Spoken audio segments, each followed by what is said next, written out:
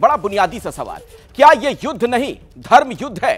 सवाल कई हैं। इन्हीं सवालों के आश्रय इस बहस को हम आगे बढ़ाएँगे। और देखिए, सबसे पहला सवाल, क्या गाजा पर हो रहे हमलों ने मुस्लिम देशों को एकजुट कर दिया है? यह एक बहुत बड़ा सवाल है। इसके आगे दूसरा सवाल, क्या यह युद्ध हमास वर्सेस इसराइल नहीं? इसराइल वर्सेस मुस्लिम मुल्क हो चुका है, जो स्थितियाँ नज़र आ रही हैं। सवाल नंबर तीन, क्या गाजा पर हमले का असर पूरी दुनिया पर होने वाला है? क्या पूरी दुनिया उसकी जद में आ सकती है? चौथा सवाल आपके सामने, रूढ़ीवादिता छोड़कर जो मुस्लिम मुल्क आगे बढ़ रहे थे, वो भी धर्म के नाम पर साथ हो गए हैं। सवाल नंबर पाँच आपके सामने, गाजा पर हमला, दुनिया में इमोशन बढ़ा रहा है और क्या इकोनॉमी इससे खत्म हो रही है, इकोनॉमी को यह गिरा रहा है? सवाल देखिए आपके सामने क्या है, छठा, क्या इसराइल आतंकियों और फिलिस्तीनियों में फ़र्क नहीं कर पा रहा है? ये तमाम ऐसे सवाल जिनके इर्द गिर्द हम चर्चा करेंगे।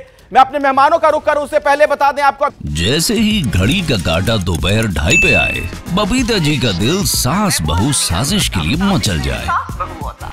और ये है इनकी बहू। पूरे दिन ऑफ़िस की टेंशन हो जाए गॉन जब ये करें अपना फेवरेट शो फ्री टाइम पे ऑन इनकी तरह आप भी देखिए अपना फेवरेट शो अपने टाइम पर। और डाउनलोड कीजिए एबीपी लाइव ऐप अपने स्मार्ट टीवी पर।